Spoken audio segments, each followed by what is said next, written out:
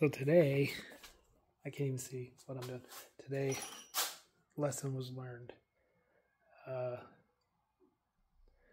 that's how you do this sometimes. I tried to cut with this McLane. It's taken apart now because I ordered a front roller and a backlapping kit. I've never backlapped this McLane, so it's just sitting here. I was cutting with it, and I'm guessing probably because it's 25 inch, 10 blade, the cut was looking better. But what I didn't realize is, is I was really tearing up my yard because it was so dull. And I was actually hating on my California trimmer. Uh, California trimmer was used to do a uh, scalp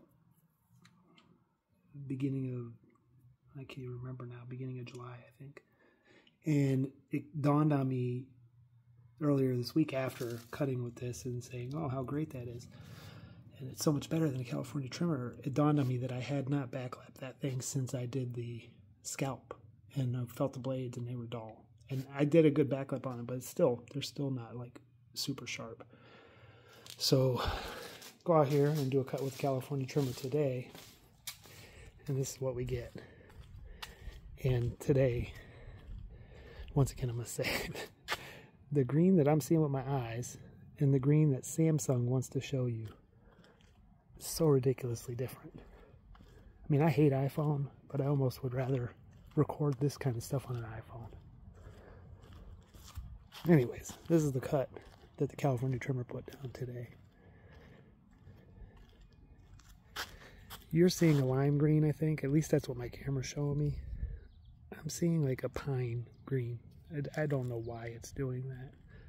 I mean, the sky is like four shades bluer than it really is in real life. So I don't know. Maybe maybe this is supposed to simulate having those crazy crazy sunglasses on. Either way, sidetracked. This is California trimmer cut, and it is really nice after being backlapped. And scalp marks from the uh, McLane and that's what I was going to get to. Because it was so dull, it didn't do it so bad here because this yard has been leveled. It's not, this yard is by no means perfectly level, but it's been leveled three years in a row, so it's got somewhat of a level to it.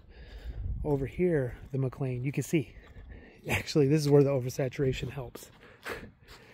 you can see scalp marks everywhere. And they're not true scalp marks. They're where it was, that's paint from Spectrum. It's where the mower was getting bunched up. You can see this is a good one, where it was getting bunched up and just really did a number to the grass. So I cut this with the California trimmer today and it really didn't take much off. I just wanted to get over it and see. Um, won't be using that McLane again until it's backlapped and got the roller on and had some service done to it because like I said, lesson learned. Uh, the front yard had some of this, so I stopped mowing with this, with the McLane. Look at this way. It looks like a fresh scalp. Luckily, it's only August 19th. Today, I just put some stuff down on it. So I'll show that in a minute. So it should come back. Didn't get it too bad here. This is the putting green. I tried to use the uh, California trimmer on the putting green. Another lesson. This is uh, too, it's too soft and the California trimmer is too heavy.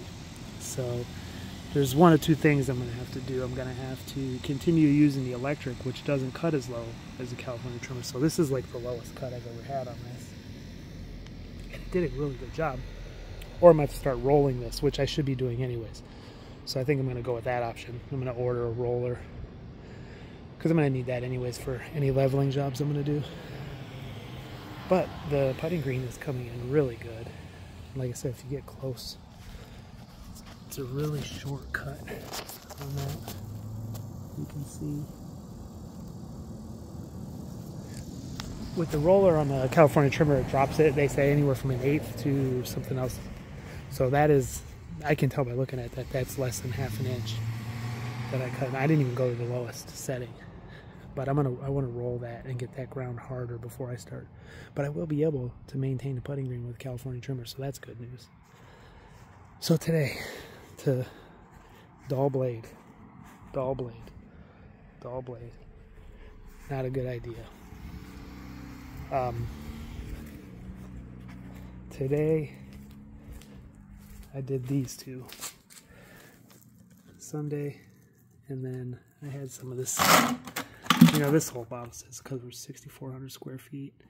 Um, I had about a third of a bottle left, and I did about 5,000 square feet with it. So it's a lower dose than what it should be getting, anyways. But I have um, put down PGF, complete PGF balance on this within the last two weeks. And I'm pretty sure one of those has iron, if not both of them.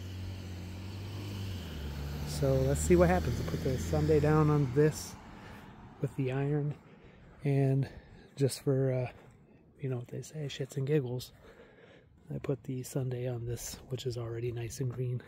It almost looks like if I stand back here, the green is the right color. Maybe it's with the where the sun is. I have to learn how to how to uh, manage that kind of stuff. I know some people that know what they're doing, so maybe I should talk. And there's the new ride, of course. So yeah, California trimmer. Got some hate earlier in the week, but no, that thing is still a great machine.